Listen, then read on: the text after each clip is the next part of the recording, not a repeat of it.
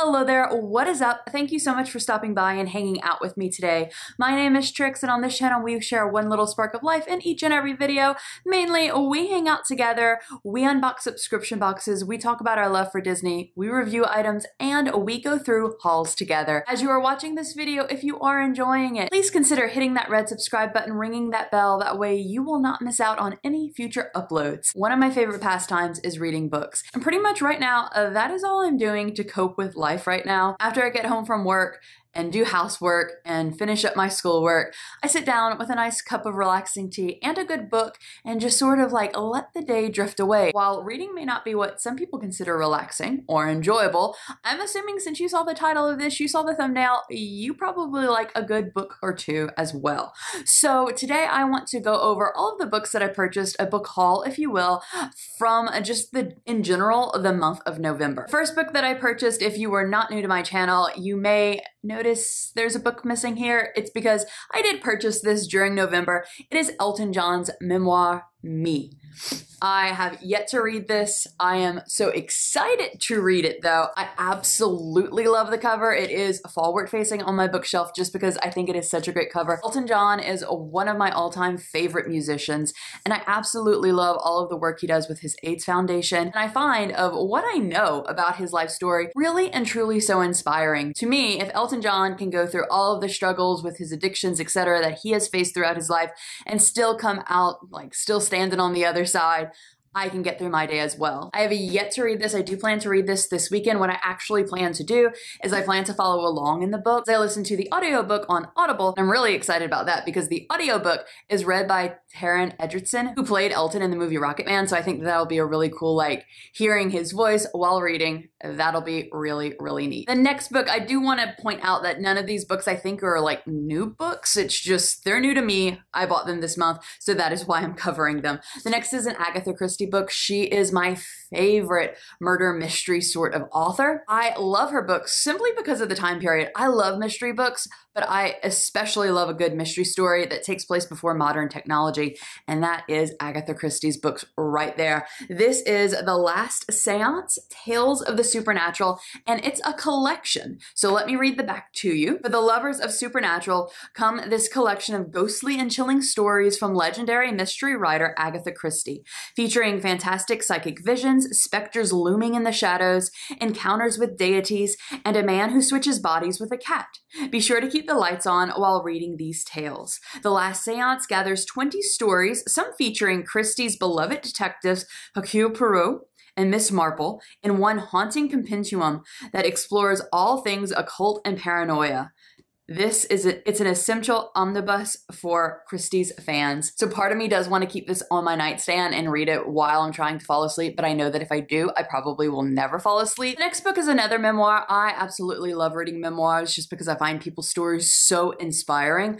And this one is from Stacey Abrams. It was pre previously published as Minority Leader, but this one is Lead from the Outside. It has a new preface to it, How to Build Your Future and Make Real Change. I bought this last Friday after work because I was really in need of some like powerful motivational type reading. Leadership is hard, convincing others and yourself that you are capable of taking charge and achieving more requires insight and courage. Lead from the Outside is the handbook for outsiders, written with an eye toward the challenges that hinder, hinder women, people of color, the working class, members of the LGBTQ community, and millennials ready to make change at work and politics and in their own lives. Stacey uses her hard-won insights to break down how ambition, fear, money, and failure function in leadership, and she includes practical exercises to help you realize your own ambition and hone your skills. That to me just sounded perfect, so I am so excited to jump on into this book. So when I say these are not new books at all, I mean like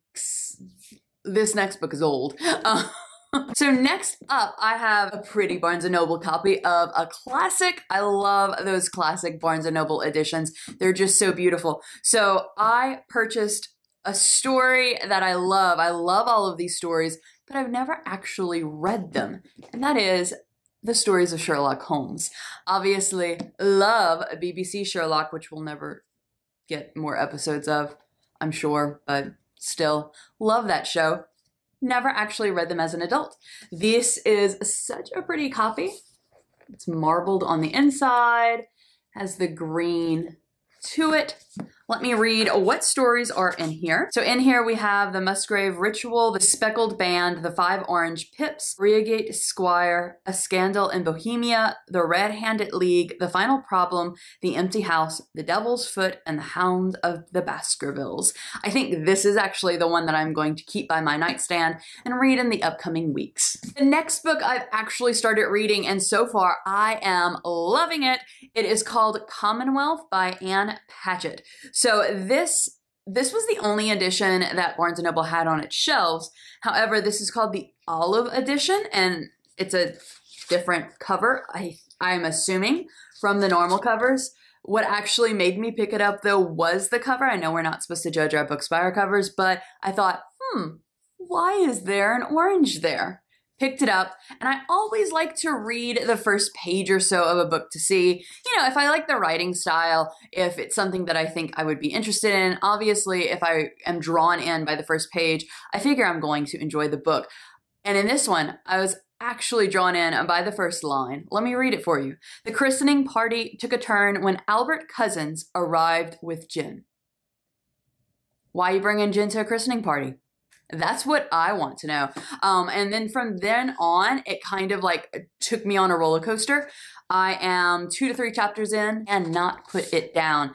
Let me read the little tiny, tiny summary for you. Commonwealth is the story of two broken families and the paths their lives take over the course of 40 years through love and marriage, death and divorce, and a dark secret from childhood that lies underneath it all that was it. That is the summary. And my last book is the third, I think, in a YA series that I discovered when I went back to school to get my education degree and had to do a project creating a curriculum around a certain YA book. So that book that I chose was The Diviners, The Diviners. I really still don't know how to pronounce it, um, by Libba Bray. And they have, I think it is four in the series, but I didn't realize that there were that many in the series because I had only read The Diviners and then The Lair of Dreams, I think is what the second one is called. But this one is called Before the Devil Breaks You. And I'm so excited. It took everything within me not to buy both that were still left in the series that I had not read, um, but I want to make sure that I read this one before I get the other one. So the Diviner series is technically a YA series, but it's not like they're not like teenagers in the book. They're actual adults in the book from the 1920s, and it follows their lives. And these characters' lives a lot of times intermingle with the like the beyond, the mystical, and it's just so, so interesting. They're going to speakeasies, they're going to parties, jazz is all the rage, etc. So let me read this for you. New York City, 1927, lights are bright, jazz is king, parties are wild, and the dead are coming. After battling a supernatural sleeping sickness that nearly claimed two of their own, that's what happened in the second book, uh, the diviners have had enough of lies. They're more determined than ever to uncover the mystery behind their extraordinary powers, even as they face off against an all new terror. Out on Ward's Island, far from the city's bustle, sits a mental hospital haunted by the lost souls of people long forgotten ghosts to have unusual and dangerous ties to the man in the stovepipe hat also known as the King of Crows. With terrible accounts of murder and possession flooding in from all over, and New York City on the verge of panic, the diviners must band together and brave the sinister ghost invading the asylum, a fight that will bring them face to face with the King of Crows.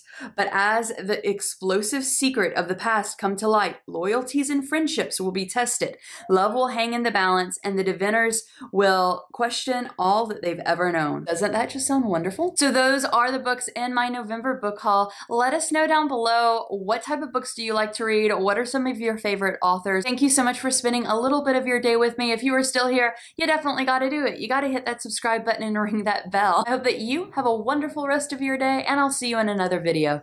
Goodbye.